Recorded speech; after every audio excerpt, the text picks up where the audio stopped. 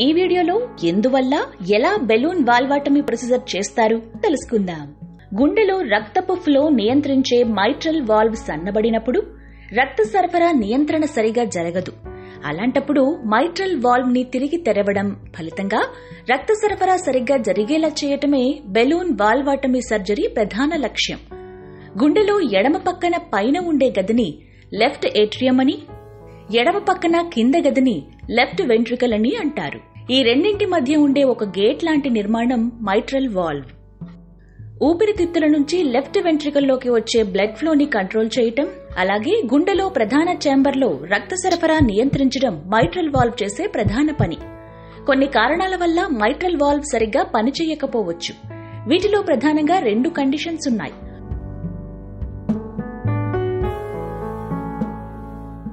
ఒకటి mitral valve సరిగ్గా మూసుకోకపోవడం ఫలితంగా లెఫ్ట్ వెంట్రికల్ లేదా లెఫ్ట్ హార్ట్ ఛాంబర్లోకి రావాల్సిన రక్తం తిరిగి పైకి లీక్ అవుతుంది.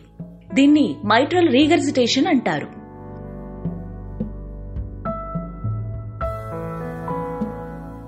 ఇక రెండవ కండిషన్ ఈ వాల్వ్ సన్నబడిపోవడం. దీనిని మైట్రల్ స్టినోసిస్ అంటారు. ఫలితంగా సమస్య తీవ్రత మేరకు heart attack heart failure brain stroke. ఏదైనా వచ్చే ప్రమాదం ఉంది. బెలూన్ వాల్వాటమీ ప్రొసీజర్ ద్వారా సన్నబడిన మైట్రల్ వాల్వ్లో బెలూన్ ఇన్సర్ట్ చేయటం ద్వారా మైట్రల్ వాల్వ్ తిరిగి తెరుస్తారు. ఫలితంగా గుండెలో రక్త ప్రసరణ నార్మల్గా జరుగుతుంది.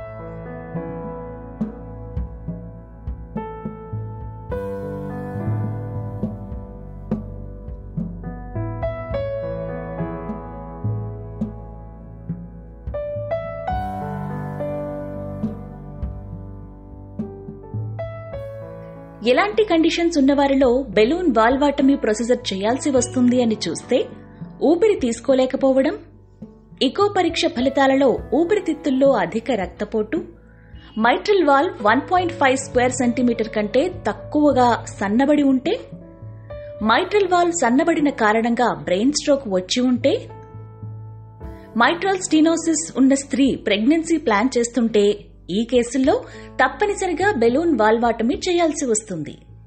బెలూన్ వాల్వాటమీ ఎలా చేస్తారు అని చూస్తే తొడ వద్ద ఉండే ఫెమోరల్ వెయిన్ నుంచి సన్నటి ఫ్లెక్సిబుల్ ట్యూబ్ గుండె వరకు పంపిస్తారు. క్యాథటర్ అనబడే ఈ ట్యూబ్ కొనకు ఉండే బెలూన్ సన్నబడిన లేదా మూసుకుపోయిన మైట్రల్ వాల్వ్ వద్దకు చేరగానే వ్యాకోచింపచేస్తారు ఫలితంగా వాల్వ్ తెరుచుకుని రక్త సరఫరా నార్మల్గా జరుగుతుంది.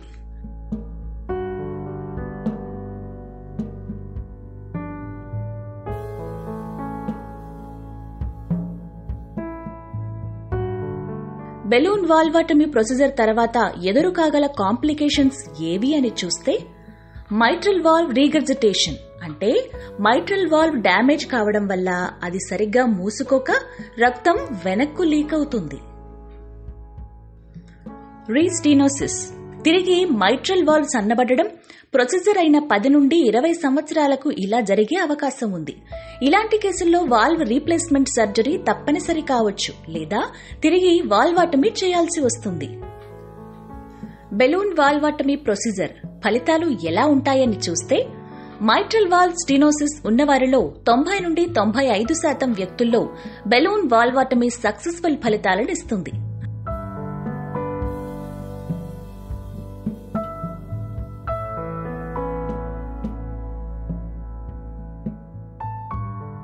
అంతేకాదు ప్రొసీజర్ తర్వాత అప్పటిదాకా ఇబ్బంది పెట్టిన లక్షణాలన్నింటి నుంచి ఉపశమనం లభిస్తుంది. కానీ గుర్తుపెట్టుకోవాల్సిన విషయం ఏంటంటే బెలూన్ ఇన్సర్ట్ చేయటం ద్వారా వాల్వ్ని తెరిచి అది తిరిగి పనిచేసేలా చేయవచ్చు. అంతే తప్ప బెలూన్ వాల్వాటమి వల్ల తిరిగి మైట్రల్ వాల్వ్ పూర్వపు ఆరోగ్యాన్ని సంతరించుకోదు. ప్రొసీజర్ అయిన ఒకటి రెండు సంవత్సరాలకు మైట్రల్ వాల్వ్ తిరిగి సన్నబడే అవకాశం పది శాతం కేసుల్లో ఉంటుంది. ఇటువంటి వారిలో లక్షణాలు తిరిగి కనిపిస్తాయి. కానీ గుర్తుపెట్టుకోవాల్సిందేంటంటే ఊపిరితిత్తులు గుండెలోని ఇతర వాల్వ్స్లో కూడా సమస్య ఎక్కడైనా ఉండొచ్చు.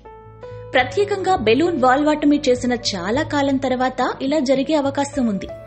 సమస్య ఎక్కడుంది ట్రీట్మెంట్ ఏంటి అనేది ఇకో పరీక్ష చేసి నిర్ణయిస్తారు. బెలూన్ వాల్వాటమీ ప్రొసీజర్ తర్వాత ఫలితాలు ఎలా ఉంటాయి? Balloon valvotomy valve replacement. ఈ రెండింటిలో ఏది మెరుగైన పద్ధతి మరో వీడియోలో తెలుసుకుందాం. గుండె ఆరోగ్యం పట్ల అవగాహన కలుగజేసేందుకై ఈ వీడియో రూపొందించడమైనది. మరిన్ని వివరాల కోసం సంప్రదించండి. Doctor Raghu cardiologist director Aster Prime hospitals Hyderabad. Phone number nine five four two four seven five six five zero.